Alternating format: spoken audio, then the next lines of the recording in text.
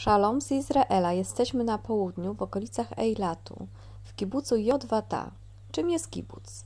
Jest to ciekawy eksperyment społeczny, połączenie socjalizmu i syjonizmu.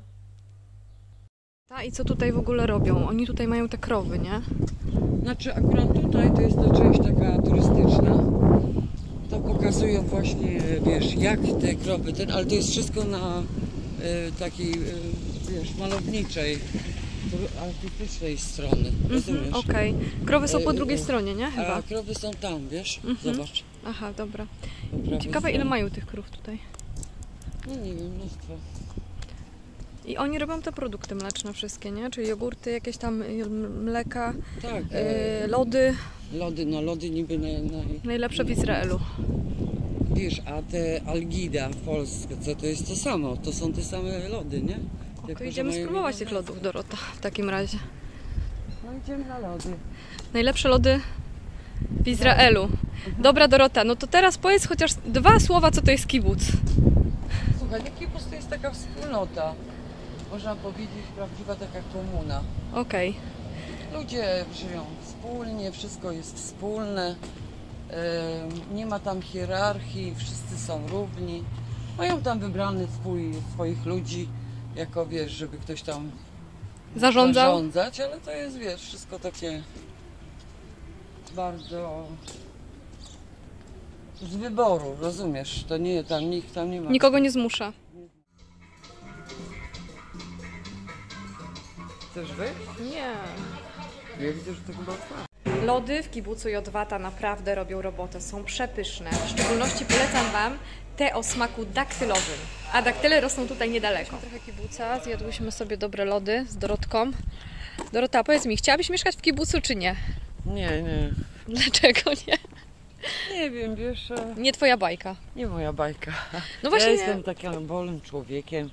No niby oni tam mają tą wolność i ten, no ale to nie to. Ja To nie chciała to. być każdym miejscu, nie czuć się, wiesz, że jestem tam. ja tak się Tylko zastanawiam. należę do tej wspólnoty i No właśnie, więcej. wydaje mi się, że tam nie ma takiej wolności do końca, nie? No to oczywiście. nie? Zależy co dla kogo ja jest uważam, wolność. Że ja, ja, się czu, ja jestem wolnym człowiekiem, bo czuję się, że wiesz, cały świat to jest mój dom, nie? Wszędzie się czuję jak w domu. Hakolo lam. No tak. Wojna, nie?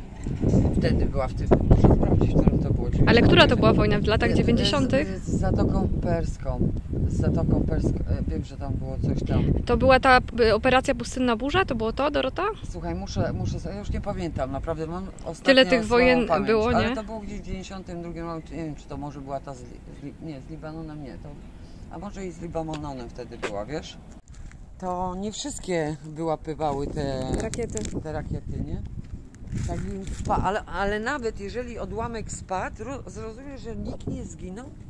Nikt nie zginął, jakaś tam jedna osoba od zawału serca, a tak to nikt e, od bomby nie zginął w tym czasie.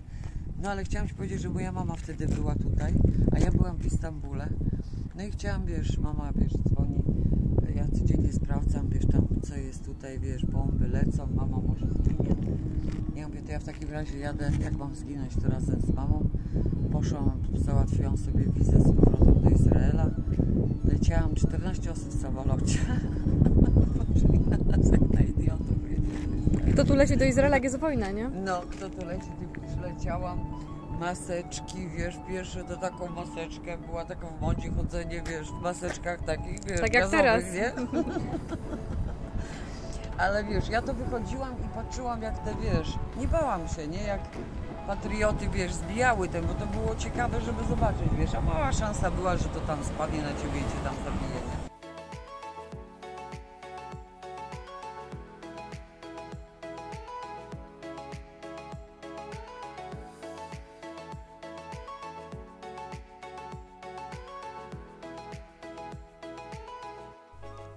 całym Izraelu jest ponad 270 kibuców i stanowią bardzo ważny element izraelskiej gospodarki.